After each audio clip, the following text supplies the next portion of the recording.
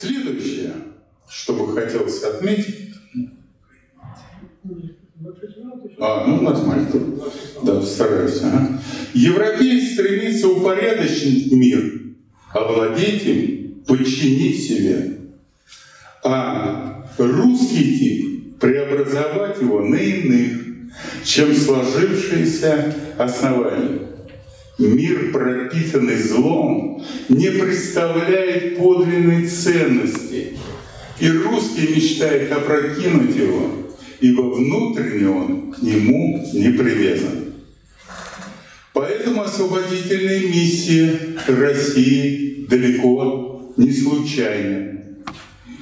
Это веление души, зов справедливости. Ну и на следующее отмечу, что в отличие от европейцев, для русских материальное не составляет смысл жизни. Об удовлетворении его и поклонении ему, об этом убедительно писал Лев Толстой. У меня есть там его высказывания, но э, из экономии не привожу. Поэтому закономерно, что культ денег и прибыли, который насаждали в 90-е годы, так и не прижился в России. И следующее. Россия во многом отрицала буржуазный мир.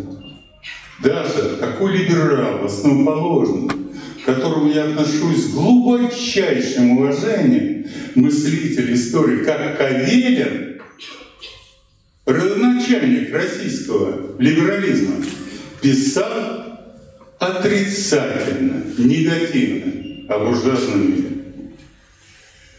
Следующее по поводу черт нашего характера. Смирение, как одно из качеств русской души. Как одна из главных добродетелей, но вытекающая из христианства. Европеец видит смирение рабства и унижения – презрителен тем, кто его исповедует. Однако в переломные времена свободолюбивые европейцы с покорностью и смирением встречали войска победителей, а смиренные русские не склоняли перед ними голов. Почему они так радостно, можно сказать, встречали победителей? Одна из причин, что боялись потерять не только жизнь, но особенно накопленное имущество. А наши, вспомним, горящую Москву, города. Кто хватался за баулы? Ну, были такие, когда паника в Москве была, в октябре вывозили все. Но суть-то в другом.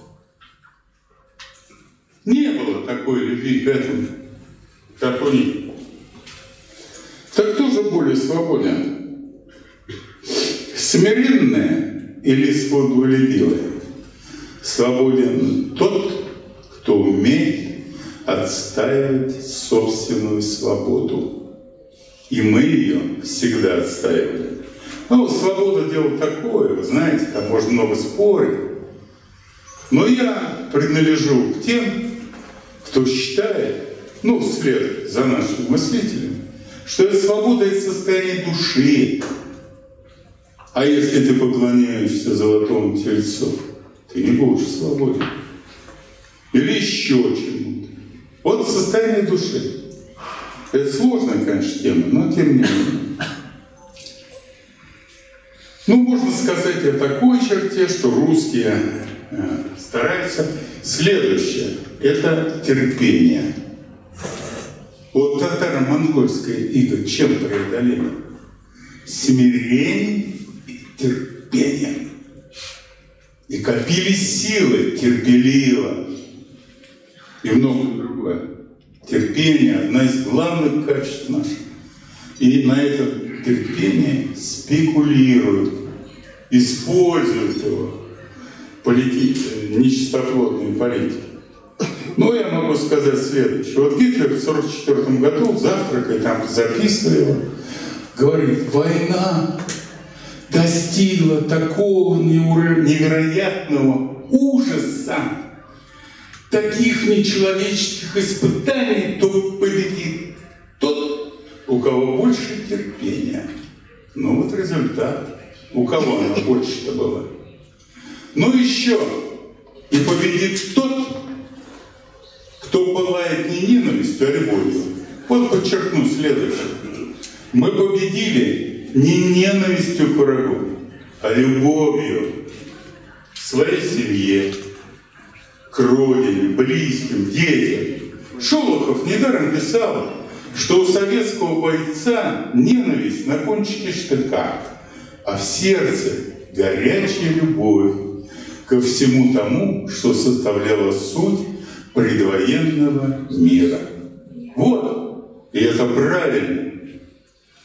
Так что об этом тоже, я думаю, нужно. Ну, еще некоторые вещи, и потом перейду к другому. Ну, наверное, я сокращу характеристики русских и противоставления европейцам, но скажу следующее. Это не главная задача. Вот так. У нас очень много общего. Недаром мы воспринимаем с восторгом и восхищением европейскую культуру. Это же не случайно. А европейцы, в свою очередь, наши. И есть очень много сюжетов, направлений, где мы схожи и можем работать совместно и так далее. Теперь несколько слов. А вот еще хотел бы сказать. Вот посмотрите, просто. Гоббс какую формулу выдвинул, сформулировал? Она жива до сих пор. Человек человеку волк. Все знают. В школьных учебниках это было. А тот человек, который жил в это же время, Серафим Саровский, другая формула. Человек человеку в радость. Вот два мира, две психологии. И это далеко не случайно. И это не выдумки тех, кто очень сильно любит русских. Он любит правду. Я так думаю. Вот. Ну, следующее. Давайте вопросы, а то очень скучно. Нет, нет, Ну, давайте вопросы.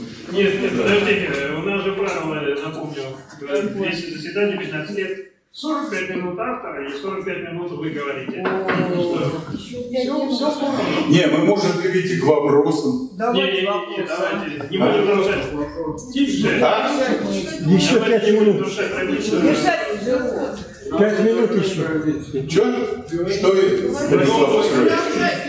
Пять, минут. Ну, Ну, подождите 5 минут, не будем нарушать традицию. Ладно, исторических Да, потом особенностей, 5 минут. Особенностей. Главным нашим обременением было преодоление пространства, огромных пространств. Освоение и защита этих пространств требовало неимоверных трудозатрат и жертв.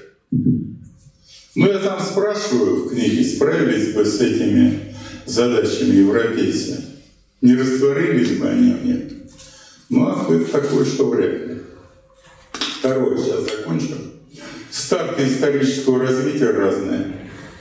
Нам приходилось строить свою цивилизацию с чистого листа, в медвежьем углу, отрезанными от торговых путей, с, не- э, с очень низким плодородием почв и так далее.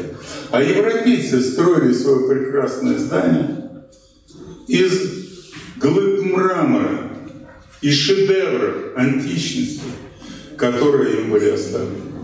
Унаследовали замечательные города, соответствующими коммуникациями и многое другое. И поэтому некорректно сравнивать Россию и Европу в плане этого и делать вывод, что Россия догоняющая держава. Никого мы не догоняли. Мы на первых порах, и эти первые пора длились несколько столетий, не догоняли, а выживали. И в природно-климатических условиях тяжелейших, и в военных, и многое другое. Вот. Ну, я на этом остановлюсь. Давайте перейдем к вопросам. Тема эта неисчерпаемая. Об особенностях исторического развития России у меня в книге есть, э, но особенно э, в седьмой главе, э, где говорится о самобытности. Я благодарю вас за внимание. Да, самобытность нашей